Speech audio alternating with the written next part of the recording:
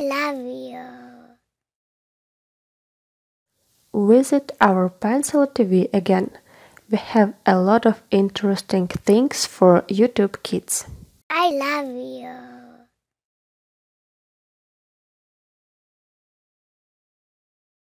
you.